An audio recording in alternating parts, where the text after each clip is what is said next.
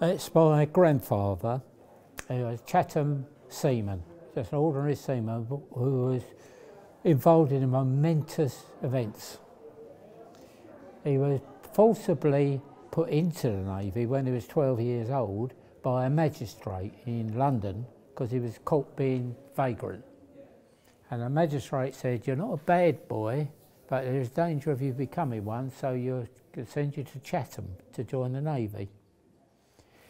So he came down here, here in Chatham, much against his will, and he, he was annoyed about it. So they said, oh, you're one of those, are you? Well, we'll put you in Pembroke, and you can learn boxing. And he, he said he was in the ring 30 seconds, and some tiny little kid knocked him out. So he thought he'd better, he'd better learn this boxing properly. Uh, then he was put on the Armageddon, a battleship, went off to Malta, and uh, came back at 1914. His seven years were finished. But, but he came back for the Spithead Review, and they said, no, you're not leaving the Navy. From now on, you're HO, hostilities only. When the war's over, you could go. Right, he said. So that was Mark one against the Navy. That was the first, first thing that upset him. And uh, he was on the Zeebrugge raid. He was destroyer man when the war progressed. On the Zeebrugge raid, um, he was on that. He was based at this time at Harwich um, in a brand new destroyer flotilla.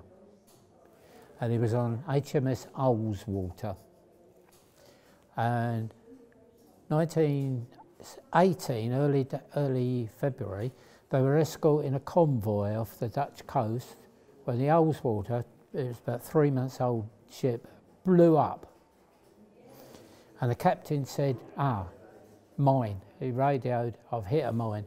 The flotilla leader, the Scott, came alongside and that blew up. It wasn't mines at all, it was torpedoes. It was a U-boat sitting there and thought, thought it had a bonus day. Two, two uh, Royal Navy ships, ones. So my granddad, he went from the Ullswater across the deck onto the Scott. And when the Scott started to sink, he took to the boats and when they were uh, torpedoed they, or sunk, they got two weeks survivor's leave. So he thought, oh, I'm due for a month. He got nothing. They said, no, you never got your feet wet. You never actually landed in the sea, so you can't be a survivor. Mark II against the Navy. Get, even when he was a very old man, he used to say to me, oh, I never got my leave, you know. And um, so back to Harwich, and a lot of, he was busy the whole time. And then the war ended.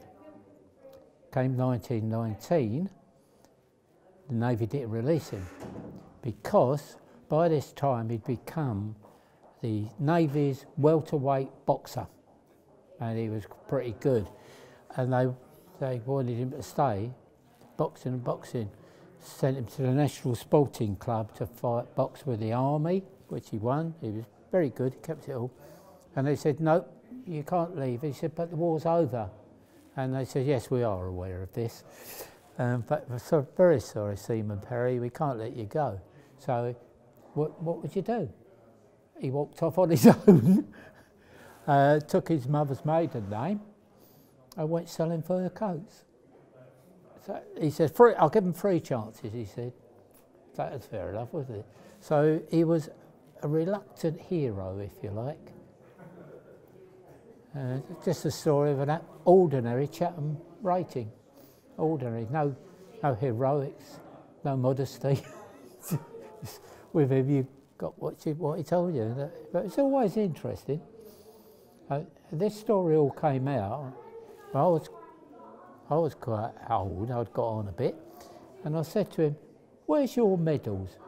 Didn't give me none. So I said, well, you can apply for them now. No, don't you get in touch with them. That Navy's got long memories. I said, oh, right. And that's what I thought, well, when he died, I thought, oh, I thought, what happened there? Much surprisingly. So the, never, the Navy never caught up to him then at all? No, he'd gone out of the statute of limitations, which he thought was quite good. He liked the sound of that. statute of, oh, I'm a stoker, he said. And I've ended up welterweight champion and statute of limitations. Not everyone's got that, he said. That's quite important, you know. And I said, is it? He said, oh, yeah.